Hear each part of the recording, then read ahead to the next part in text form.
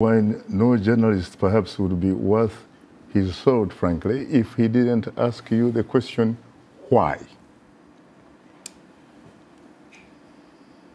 That is a question that probably should have gone to the government of Uganda. We have the Ugandan ambassador yeah. here. He will, Why course, uh, would respond. a Ugandan be brutally arrested? Why would a Ugandan be tortured? Why would a Ugandan be, citizen be framed with possession of guns only later for the um, claims to be dropped by the government? I also still wonder why. Now that we are with the ambassador of Uganda, maybe he will explain to us why so many Ugandans are being tortured, are wrongfully arrested, and indeed killed. Maybe he's in better position to answer why. Mr. My brother, Ambassador Katende, I know that uh, you were not in Uganda. You were here with me, but you obviously represent the government of Uganda. Exactly. How do you respond to this? Thank you very much, uh, uh, uh Dr. Shaka. And, Without a uh, clinic, of course, uh, because you might mislead the patients to come to me. Yeah, I, I, I, am glad to be here with the Honorable here.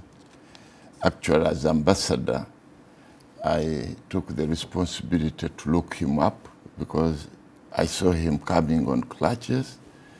I even went to the hospital to, to check whether, because as ambassador, I'm responsible for, for the welfare of all people who visit the U.S. and those who reside in it.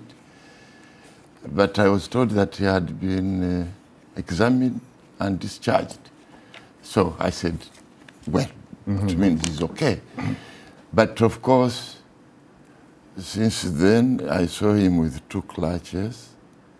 He's now with this walking stick, meaning that uh, things are improving, as he says.